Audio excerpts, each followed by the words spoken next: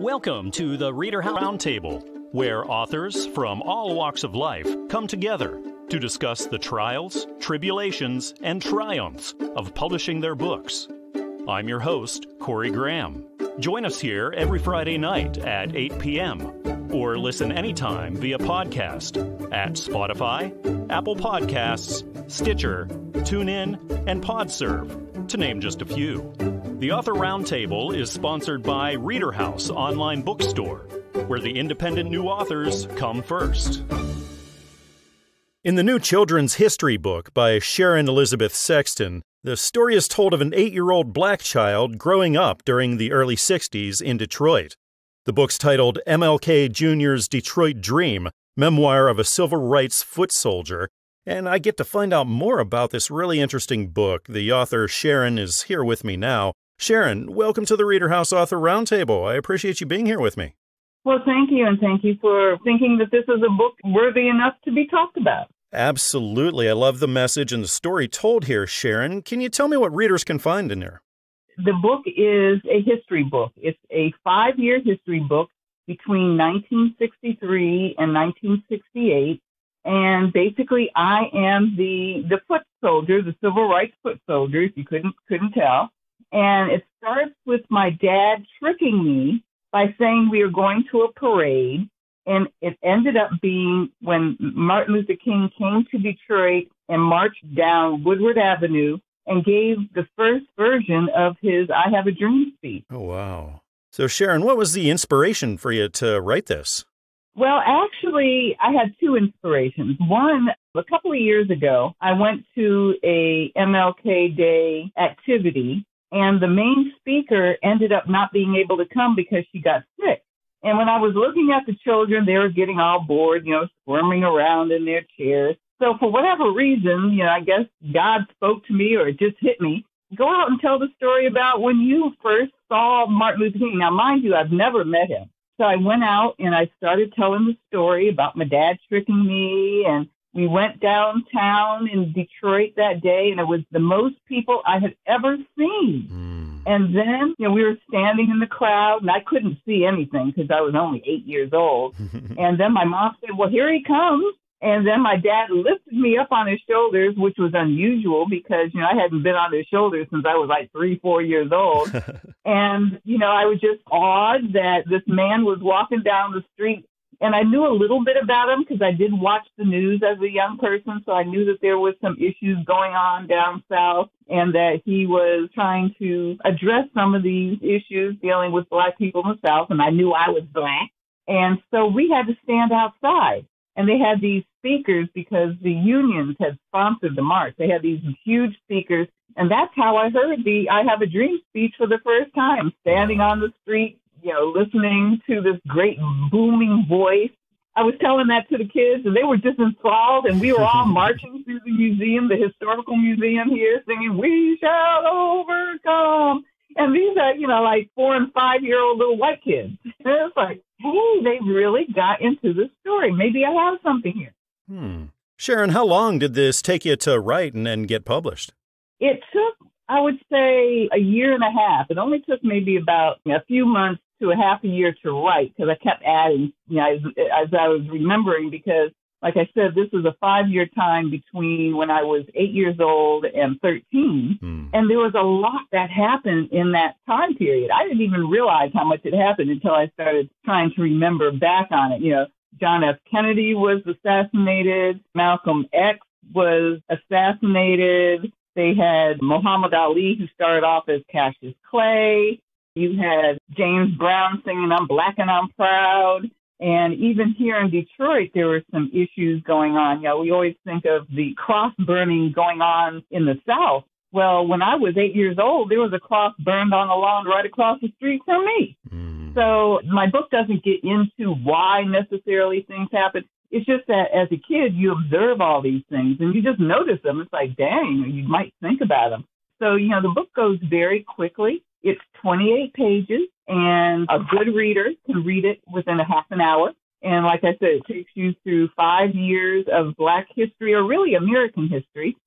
I know children and readers alike are really going to love this book and get a lot out of this story. Again, the title is MLK Jr.'s Detroit Dream, Memoir of a Civil Rights Foot Soldier. This is written by Sharon Elizabeth Sexton. It's published by Newman Springs Publishing, so you can find it everywhere like Amazon and Barnes & Noble and iTunes, traditional brick and mortar stores, anywhere you go to pick up your books. Sharon, thank you again for joining me tonight and telling me all about this really fascinating book. I had a nice time talking with you. Well, thank you for inviting me, and thank your listeners for listening to my story. The Impromptu Heroes. It's the new book by David Haak, and it's a thrilling tale of survival and heroism in the face of danger. The audiobook edition is out now, and I'm talking all about it with the author, David, here at the Reader House Author Roundtable. David, welcome to the show. I appreciate you being here. Well, thank you. Thanks for having me. Absolutely. Can you tell me what readers will find when they open up the Impromptu Heroes?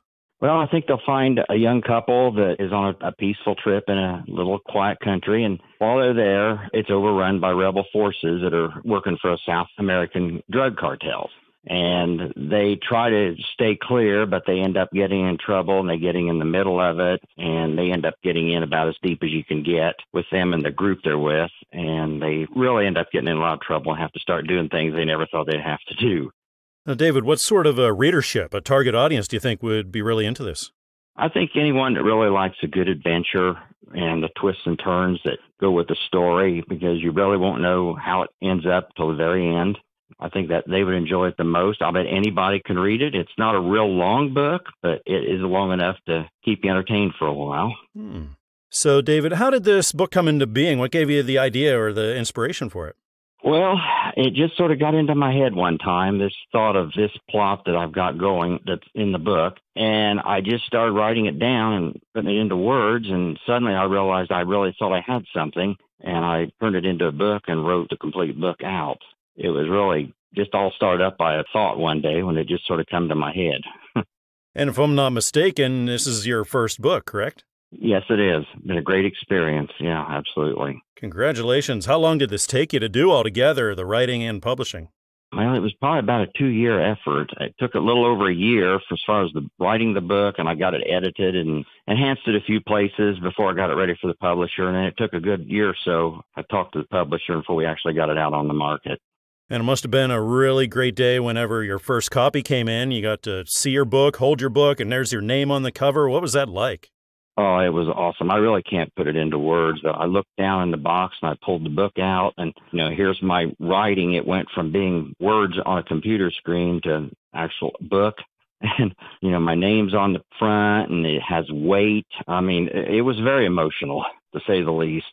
David, do you think you have more books in you, or do you think about writing more in the future? Oh yeah, I've got another one written now. I'm kind of putting the finishing touches on it. Not quite ready to get it published, but it, hopefully it won't be too long.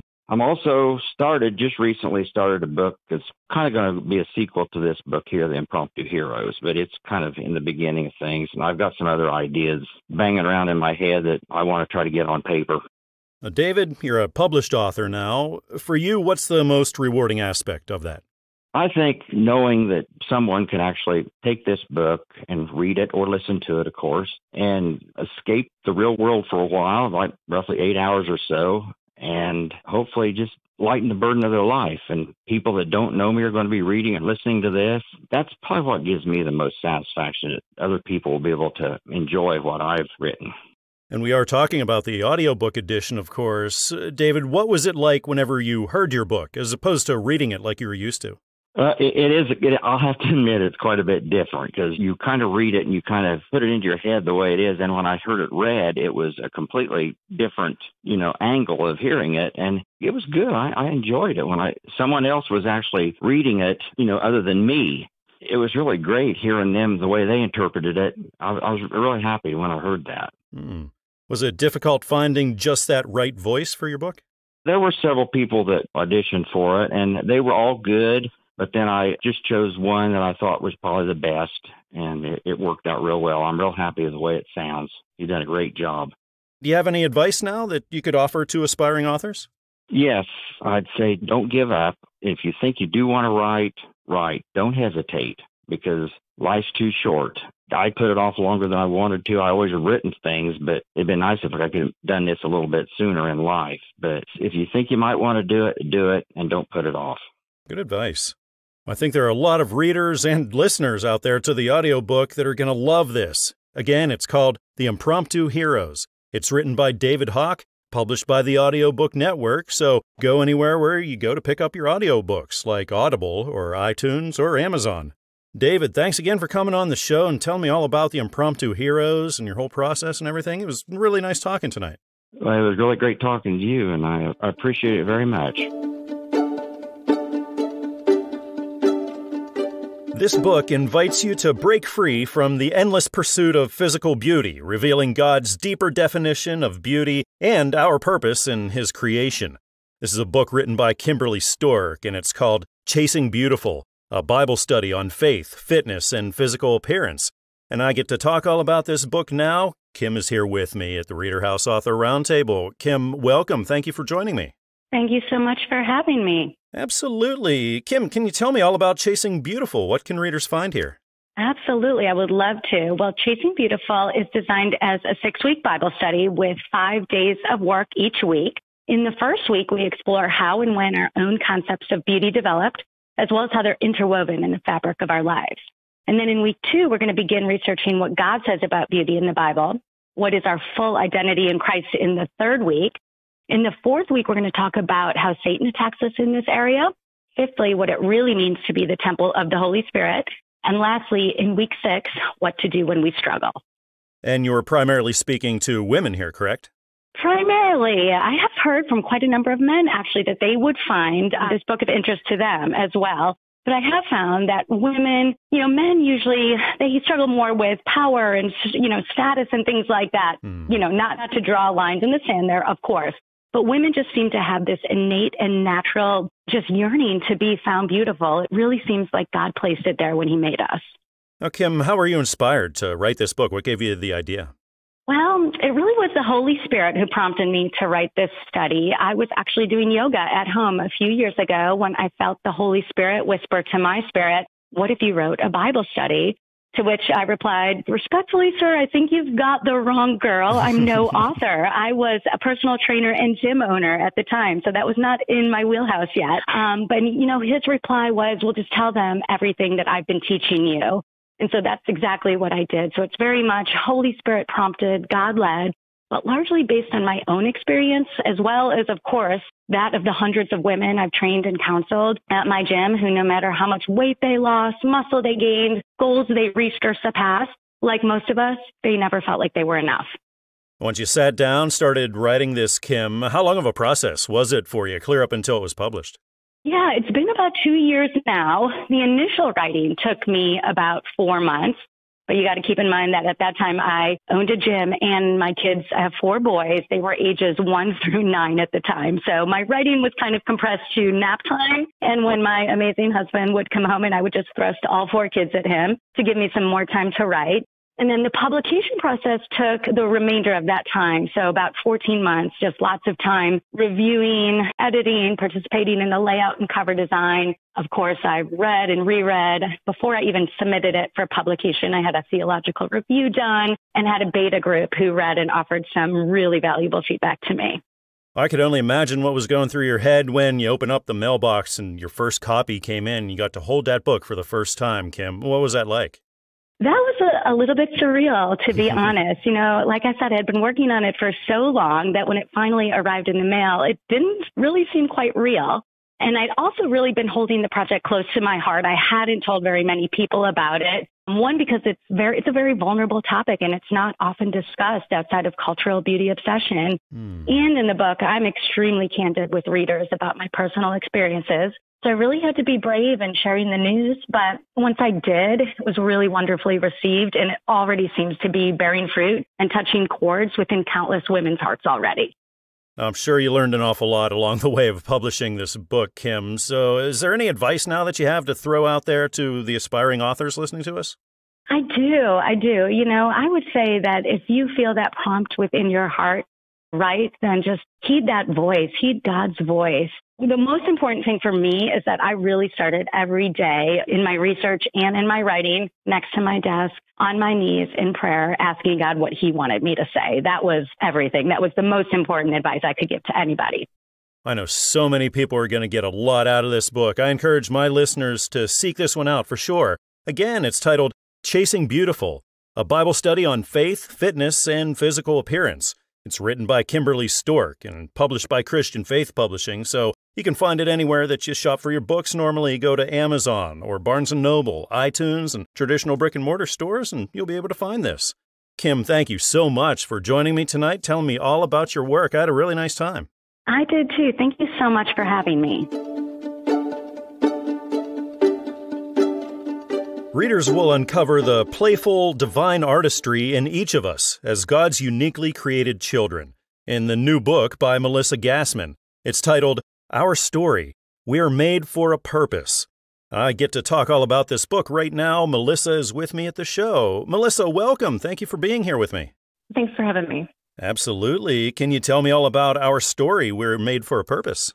Sure. It's playful, truthful, and hopeful. And it's a story about how God creates each one of us, that we are made to love and serve and forgive others, that we have moms and dads who care for us and family members who care for us, and that we also care for them. Also, that we're made boys and girls and we're all unique. We have different wiggles and giggles and things that make each one of us special and loved and cared for. And it's just trying to introduce God to kids maybe that wouldn't have been introduced to them before, but to just show them that there is a purpose for them, that they are wanted, that they are created by God and loved by God. Would you say this is a book mainly for younger children or children of all ages? Oh, for sure. I think definitely for younger kids, young readers as well. But, uh, you know, it's illustrated, it's got lots of colorful pictures. So it's simple and everything rhymes. So definitely the younger readers and, and early readers are the best ones for that. Melissa, what was the inspiration for you to write this? How did you get the idea? Well, I have a granddaughter, and she's always struggled a little bit with reading until she finally we figured out during school that she had dyslexia. So we spent a lot of time reading books together, and a lot of books sometimes there didn't seem to be a purpose for the book or any real meaning to it, so it wasn't that enjoyable to read. And so that was one of the things that I was wanting to do was to create a book that I would enjoy reading with my granddaughter, and that it would share the values that I would love to share with her that I would want her to be encouraged by. And when it comes to writing and publishing and all of that, Melissa, are you new to this or have you done it before? No, totally new to this. This was my first one. And yeah, I've, I've kind of wrote a couple of playful stories during COVID, like the very beginning of COVID, and put pictures to them and shared those with her at that time and then kind of put it on a shelf.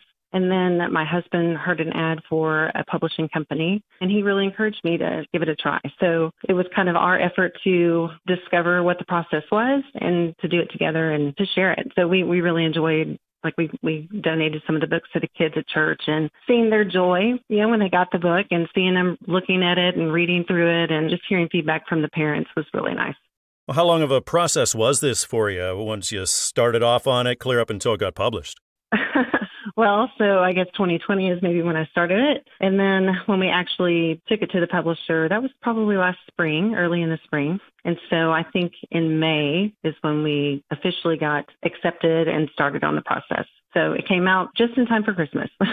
and when you finally got the first copy in, you actually got to hold your book for that first time, Melissa. What kind of a moment was that like for you? Pretty amazing, actually. And I, I remember just thinking that I couldn't wait to show it to her since she and I had seen it on a screen, you know, and talked about it before. And so sharing it with her and then, you know, also, of course, I look forward to having, we have six kids. So, oh, wow. looking forward to many more grandkids down the road and just thinking about the opportunity to share that with them. I'm sure other people will enjoy the book too, but that was really my main motivation was having something to share with my grandkids. Do you think you would do it again, Melissa? Do you see yourself writing more, publishing more? Yeah, I think that's the goal. I've already got two other books, one that I wrote during COVID and one that I've worked on since then. And yes, I think I would love to, and we'll see. And you're a published author now, Melissa. What's the most rewarding aspect of that for you? Well, I think being able to share it with other people. We had one book signing already and, you know, sitting on the floor with, with the kids and, and having one of them work on reading it. And also I read it to some little biddies and just sharing it with others. I think that's, that to me is the most rewarding. And I know that that's not about dollars for me. It's just been more about the experience and sharing with others. Is writer's block ever a thing you got to deal with? Not really, because I'm not on the deadline, right? I'm just doing it on my own. so no, not really. No, I, if I get the mood, it's kind of like painting a piece of furniture. You know, when you get the mood to do it, you just sit down and start to work on it. I think so many children are going to love this book. Again, it's titled Our Story. We are made for a purpose. It's written by Melissa Gassman and is published by Covenant Books. So go everywhere that you go to pick up books like Amazon and Barnes & Noble, iTunes, traditional brick and mortar stores, and you'll be able to find this. Melissa, it's been wonderful speaking with you here tonight. Thanks for telling me all about your work and everything. It was great talking. Great talking with you too, Corey.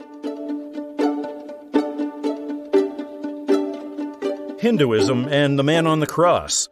Well, that's the next book written by Norman Law, and we're going to be talking all about it here at the Reader House Author Roundtable. The author, Norman, is here with me. Norman, welcome back to the show. Thank you for being here again.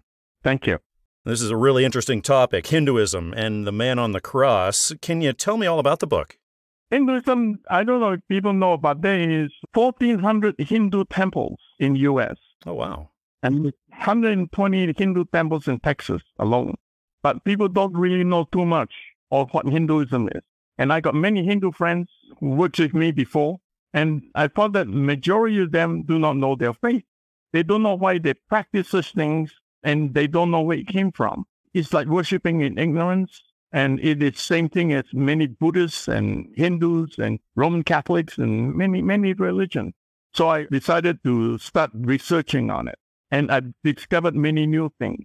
The gods of Hinduism did not come from India. They come from the Middle East. Hmm. The first documented Hindu gods are written in Sanskrit in eastern Turkey. And the gods they worship are four gods, which are Indra, Agni, Shiva, and Nasatya. And they're all in eastern Turkey. And I begin to wonder how it goes from the Middle East down to India. Then I came to my mind one night that when the Israelites crossed the Red Sea and went into Canaan, there's 700,000 men. So when I add women and children, there's about 2 million of them. And they displaced the people of Canaan. And there are about nine different, seven to nine different tribes that fled the country. In those days, you have a village, maybe a few thousand people, but when you see 2 million people coming, you shake on your boots. so they fled, except for some. Many were conquered, maybe have to flee. So they cannot go north because Turkey is very strong. They are the Mitanni and Mitanni civilization. East is very strong. It's Persia and Babylon, Iraq. So they went south. And you can see evidence of idol worship in Mohenjo-daro and Harappan, which is the Indus Valley northwest of India. So to me, then I checked the language. There is no developmental Sanskrit found in India. Therefore, the language could not have been begun in India. So since it started in Turkey, Eastern Turkey, under the Mitanni civilization, it must have come from that. Then I checked the first temple in India where you get group worship. The first temple was built in 4 AD. So that's very late for civilization because the ziggurat in Persia is about 2500 BC and India is at 4 AD. So it must have come from that area. So that's the first discovery of Hinduism. Interesting. Norman, looking down the road, do you see yourself writing and publishing more along these lines? I'm now working on Quran controversies and contradictions. Hmm. And then I'm working on Sikhism. Sikhism is when you see in the, in the US in public a man that wears a turban, most of them, or they wear a metal ring on their wrist. They are Sikhs. And the Sikhs is religion influenced by Muslim Islam, Christianity, and Hinduism.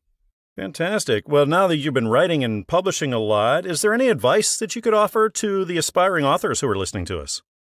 I don't really because it started as a burden in my heart and that's go away. There's a, a sudden compulsion to, to write. It doesn't leave me.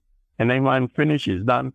Then the next burden comes in my head. So I'm, I'm not a great author or anything like that, but I'm just writing on ideology and doctrines. For you, Norman, now that you're published, what's the most rewarding aspect for you of being a published author? I don't. I just found that I can talk to my Hindu friends, my Buddhist friends, my Muslim friends, and I truly, in a sense, know more than they do. And it makes interesting conversation and rewarding conversation that I can share Christ with them in a respectful way mm. because I know what they believe. So when I ask them, they can answer. So it gives me a better perspective on what they believe. I know a lot of people are going to find out a lot more about this and are going to be blessed by this book. Again, it's titled Hinduism and the Man on the Cross. It's written by Norman Law, published by Christian Faith Publishing. So head to Amazon, head to Barnes & Noble, head to iTunes or down the street to your local bookshop and you'll be able to pick this up. Well, Norman, I really appreciate you coming on the show and telling me about this book. I had a nice time talking with you. Thank you very much. Appreciate it. Well, readers are in for a lot of fun with this book that I'm looking at now. It's titled Kitty Likes Apples. It's written by Kelly West, and I get to find out more about this book. Kelly is here with me now at the Reader House Author Roundtable. Kelly, welcome. Thank you for joining me. Thank you so much. Thank you for having me on your podcast today. Well, the pleasure's all mine, Kelly. I'm really excited to learn about Kitty Likes Apples. Can you tell me about it? Absolutely, yeah. So, book is for young readers. It's a really great book for those who are wanting to like find something new to read or something fun or a little bit interesting and full of imagination. So this book is basically um, about an actual cat that I had in my life named Kitty. She was named Kitty, and I was about eight years old when I writ- written the book. And I just decided, like, hmm, my cat's not always the friendliest. She was always kind of like stubborn and didn't like to do much. And we, she would like be around the house, and I would have to look for her. But I was like, what actually would make my cat happy? So I said, why not an apple? I love it. Oh, when it comes to writing and publishing, Kelly, have you done this kind of thing before? No, I actually have not, but I've written books and I also have sequels to this book. But right now I'm just focusing on Kitty Likes Apples in particular because it's actually my one of my favorite books to have written that I've felt that I liked so far. So yeah. How long of a process was this for you once you sat down, started writing, clear up until it was published?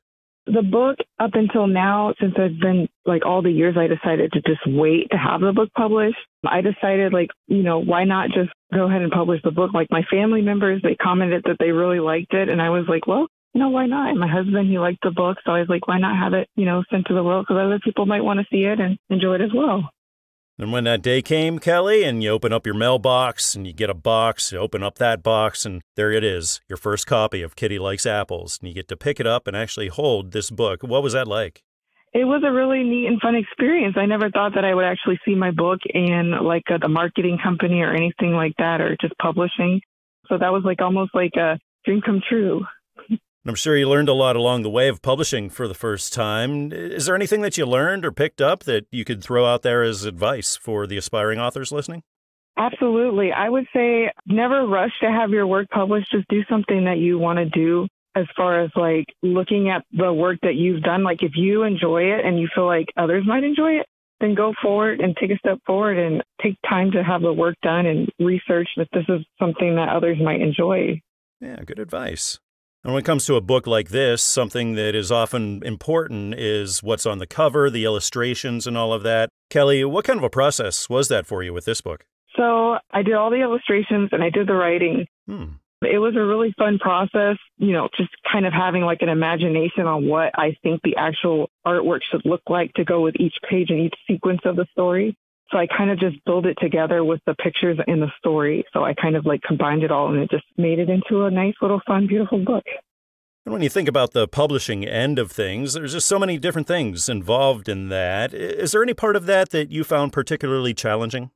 Yes, I also found it kind of challenging to know what to do about the work that I had, but I also found it rewarding as well because I was able to like take a chance and have the book published. Like if people are like, you know, they might be like, "Oh, this is really different. I never heard of a cat liking eat apples or anything like that's never happened before." So yeah, I also found it challenging because you kind of don't know how, you know, everyone else might react like in the long run, but it's also rewarding knowing that it's out there.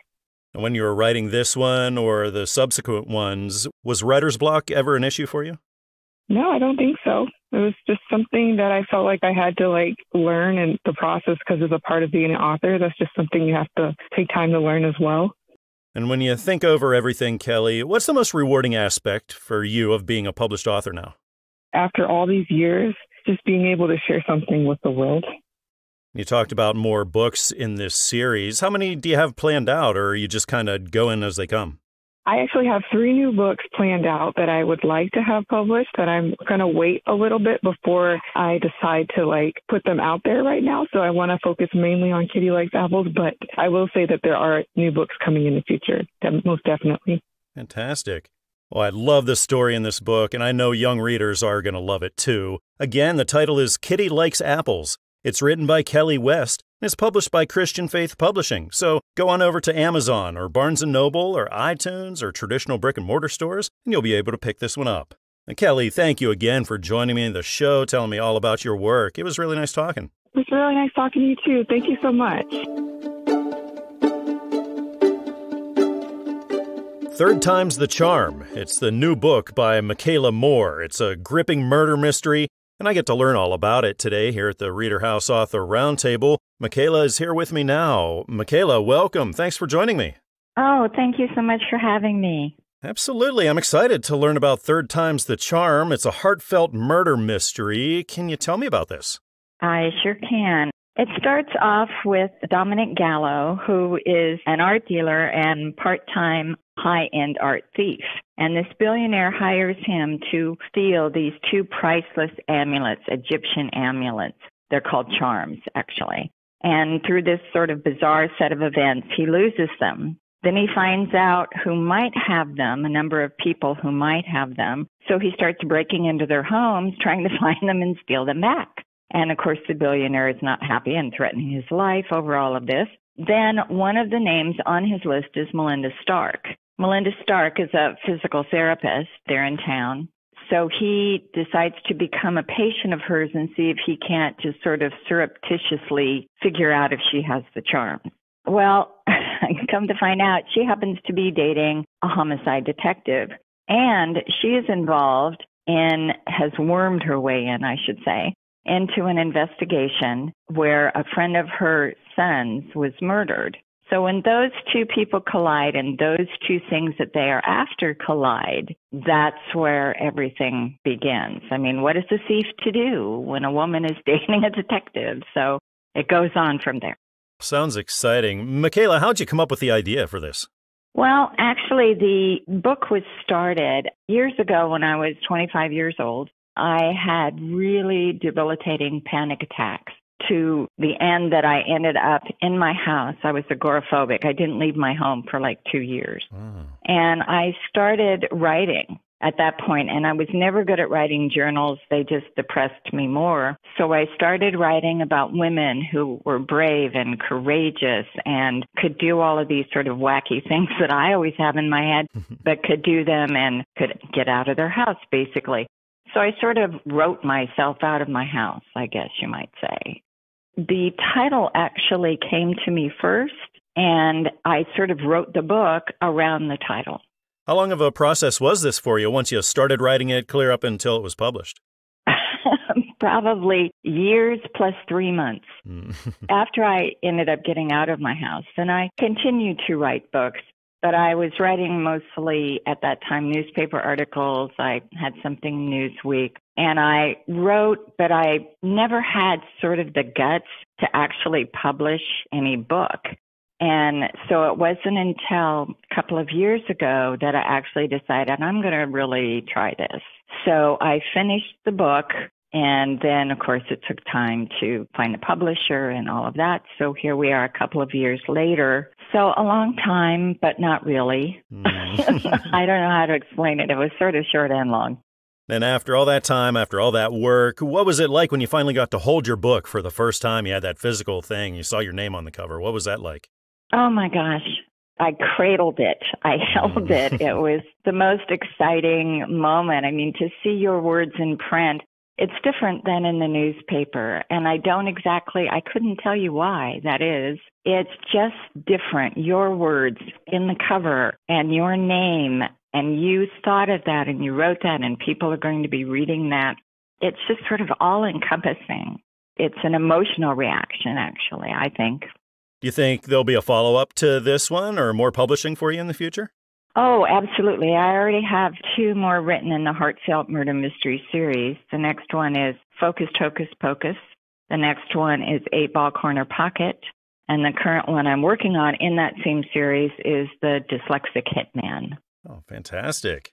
Well, I think readers are going to love this book. Again, it's called Third Time's the Charm, a heartfelt murder mystery. It's written by Michaela Mohr, published by Newman Springs Publishing, and it's available everywhere. So get on over to Amazon or Barnes & Noble or iTunes or traditional brick and mortar stores and you'll be able to pick this up. Michaela, thanks again for being on the show here, telling me all about your work. I had a good time talking with you tonight. Thank you so much, Corey. Newcomers to Canada will be able to unlock the secrets to financial success in the new book by Akinwale Thompson. It's titled The Pursuit of the Canadian Dream. And we're going to talk about this more here at the Reader House Author Roundtable. The author, Akinwale, is here with me now. Akinwale, welcome to the show. Thank you for joining me tonight. Thank you for having me, sir. Absolutely. Can you tell me all about what readers can find in Pursuit of the Canadian Dream? Oh, Pursuit of the Canadian Dream is a book designed to teach the users how to navigate a developed financial system. So learning to know what to do in different circumstances. So whether how to build your credit, how to buy your first home, insurance, and all the different aspects of our society that people really take for granted. This is what the book teaches its readers. What sorts of readers were you speaking to here? Did you have a specific audience you're thinking about? Certainly. I think my audience really are new immigrants, youth, and basically anybody that needs to learn how to improve their financial life.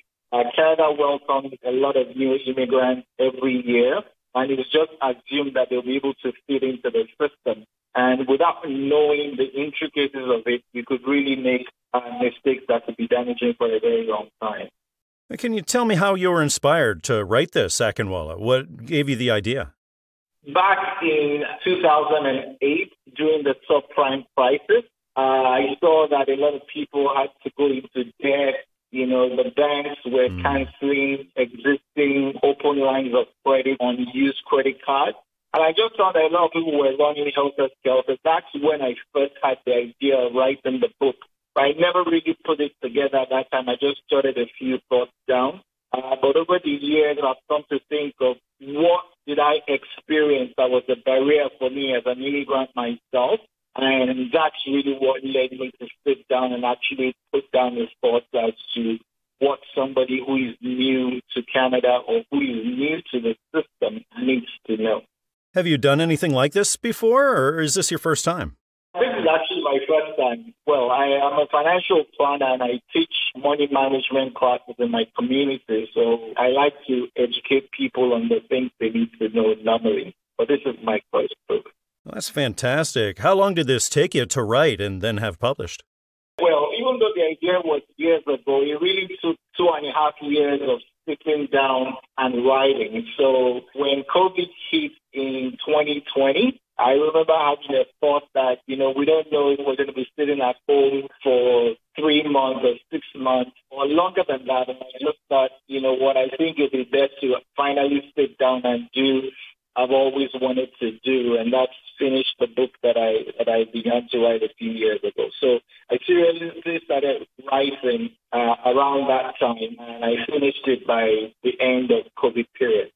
And of course, we're talking about the audiobook edition. So, what was it like for you when you actually heard your book as opposed to reading it like you were used to all that time? Uh, it was it was quite exhilarating. I think just hearing it was very different. I I, I have uh, so many kinds of emotions that I can't even begin to describe with words. Uh, it was quite exciting just hearing it and seeing the process is very interesting for someone who's never done anything like that before, it was, uh, it was quite thrilling to do. Is there anything that you learned along the way that you would like to pass along as advice for the authors who are also starting out? I think the main thing is that there are no shortcuts. Mm. Right? The processes that you have to go through, if you have to write, you literally have to write every day. You know, set aside time every day and write mm. and write and write to get the job done. And then once the job is done, you now have to find a publisher to get somebody to do the audio. I mean, some people will do the audio themselves. I engaged audiobooks and they were able to help me along the way to get that done. So it's really a very interesting process. And I think that as long as you don't take shortcuts, you would end up with a good product. I think a lot of audiobook listeners are going to get an awful lot out of this book. Again, it's titled Pursuit of the Canadian Dream. It's written by Akinwale Thompson and is published by the Audiobook Network. So go everywhere that you pick up your audiobooks, you'll be able to find this, like on Audible, iTunes, or Amazon. Akinwale, thank you again for joining me and telling me all about Pursuit of the Canadian Dream. I had a nice time talking with you tonight. Thank you very much. I'm holding a book that's full of poetic inspiration that uplifts and encourages believers from diverse backgrounds. The book is titled Seasons of Scripture, Poems, and Praises. This is written by Wanda Cronic Coats, and I get to talk all about this now. Wanda is with me now. Wanda, welcome to the show. Thanks for being here. Thank you for having me. Absolutely. Can you tell me all about Seasons of Scripture, Poems, and Praises? Yes. About three years ago, the Lord gave me, well, He put in my heart to begin a magnet ministry where I would infuse scripture along with some of the poems that I've written and send it out to fellow believers to encourage them. And according to Isaiah 50, verse 4, we are to know a word to sustain the weary. And that's my goal is mm. to reach out to fellow believers and give them some encouragement and some hope along the way. And then just recently, I guess probably about six months ago, the Lord laid on my heart to put all my writings into a book so I could reach a broader audience. And so, along with my sister's encouragement and the Lord's nudging, this is where I'm at now. No wonder. have you ever done anything like this before? Have you ever written or been published? No, I've never been published, but I've been writing all my life. When I was a young child, I had a speech impediment of stuttering where I would talk too fast, and of course, I would start stuttering over my words. And so that led me to put my thoughts into writing. Hmm. And so I've been really writing all my life. Once you got started on this one, uh, how long did it take you clear up until it got published? Well, the poems were written probably over a period of three years. There are different seasons, different holidays, different happenings in the world. And so I guess probably about three years compiling everything together. When it came to the publishing end of things, what did you find the most challenging about that for you?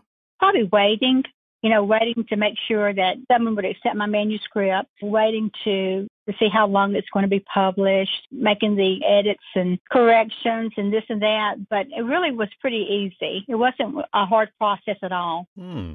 Then, after all that work and all that waiting, when you finally got your first copy in and you got to hold the physical copy for the first time, Wanda, what kind of a moment was that like for you? It was very humbling.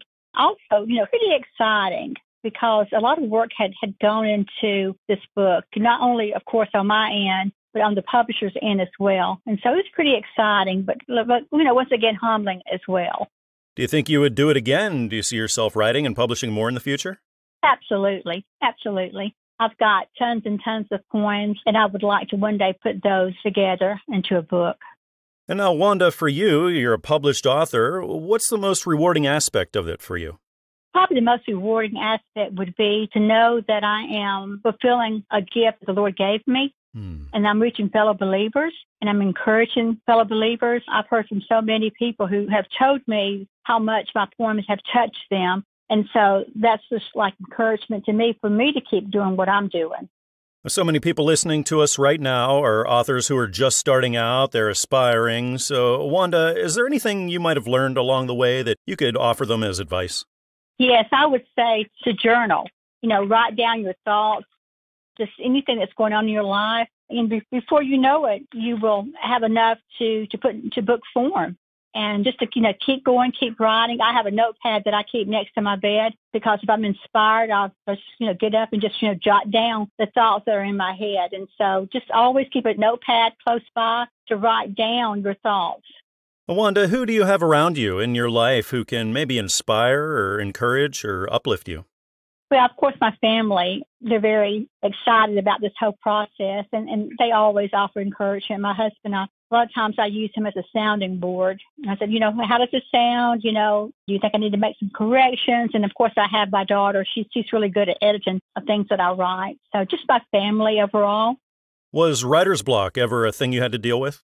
Oh, sure. Sometimes, you know, I'll start writing and, and I'll just write and write and write. And then like you say, I have a writer's block. But what I do, I just get up and just go about my business doing other things, and I'll come back. And once I come back, then I can start back again. Sometimes you just have to leave the process.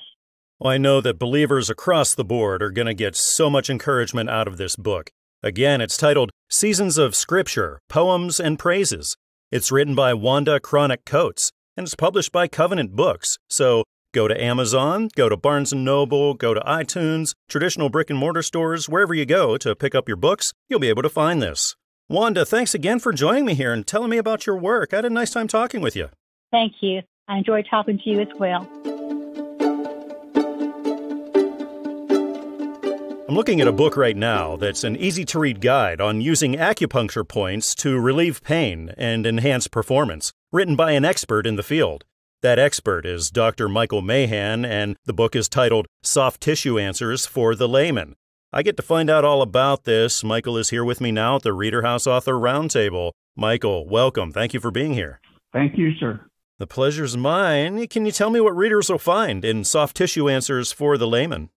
They'll find ways to relieve more common pains, headaches, low back pains, menstrual pains, all kinds of things. They'll also see how to enhance athletic performance. And I take it this is a very general, broad audience that you are speaking to here. Yes, sir. I've retired after 40 odd years of practice, and I found that this was a good answer for a lot of people. Was there any specific inspiration that made you think, hey, I got to sit down and get started on this book? People need this there are a number of cases that come to mind that make me want to share this because people can get some relief and it doesn't require any kind of drugs or pain in any way. When it comes to writing and being published, have you ever done this before or is this your first time? This is my first time. Oh, congratulations. How long did this take you once you sat down, started it, clear until it got published? Probably two years. And after that time and all the work that you put into it, what was it like when you finally got that first physical copy in? It was very exciting. When I opened the book and saw the Library of Congress information and ISBN numbers, it made me feel like I'd legitimately accomplished something there with the book. And now that you are a published author, Michael, what's the most rewarding aspect of that for you? Knowing that I've shared some of my knowledge with anybody that can read can use the knowledge and that it's something that people in all walks of life and every age group can use. When it came to the publishing end of things, was there any aspect of that, Michael, that you found particularly challenging? Not once I found Covenant Publishing. I submitted some inquiries about being published to other folks and it was turned down or ignored, but I was happy with the way that the folks at Publishing House handled this. Uh, looking ahead of you, Michael, do you see yourself writing and publishing more? Yes, I've got a expanded version of this that's written for the healthcare professional that I'm working on. And now that you've been through the writing and publishing thing here for the first time, I'm sure you learned a lot. So, do you have any advice now that you'd like to offer for the aspiring authors out there? Well, I would say just keep on till you find someone that you're comfortable with as far as a publisher. Now, you spend so much time writing, getting those words just right, but you might not think right away about what it's going to look like, what's going to go on the cover. Michael, what kind of a process was that for you? Was that a challenge to figure that out? Well, initially I had another cover in mind, but I got to thinking about what we were trying to convey here, and so I gave them my idea of what I wanted, and they came up with a very good cover, I thought. Michael, who inspires you in your life or keeps you encouraged and uplifted, especially when it comes to things like this? I'm a Christian and I rely a lot on prayer. And when I first started in practice back in 1977, I wanted to be able to use some information that was a little bit new and a little bit sketchy at the time. So I sat down and the Bible promises us wisdom if we'll ask for it. And so I did, and I was able to figure out how to go from using needles in acupuncture to using the magnets where there's no discomfort or, or reason to fear puncturing the skin or, or people having a fear of needles. And it was just as effective. Hmm. I know a lot of people are going to find a lot of answers in this book. Again, it's titled Soft Tissue Answers for the Layman. It's written by Dr. Michael Mahan, D.C., and published by Covenant Books. So of course, you can find it everywhere. Go to Amazon, Barnes & Noble, iTunes, and traditional brick and mortar stores. You'll be able to pick up this book. Well, Michael, thank you for joining me tonight and telling me about your work. I had a really good time talking with you. Thank you, sir. I appreciate you. We hope you enjoyed this edition of the Reader House Author Roundtable. where authors from all walks of life come together to discuss the trials, tribulations, and triumphs of publishing their books. We hope to see you back here every Friday night at 8 p.m. or listen anytime via podcast at Spotify, Apple Podcasts, Stitcher, TuneIn, and PodServe, to name just a few. The Author Roundtable is sponsored by Reader House Online Bookstore, where independent new authors come first.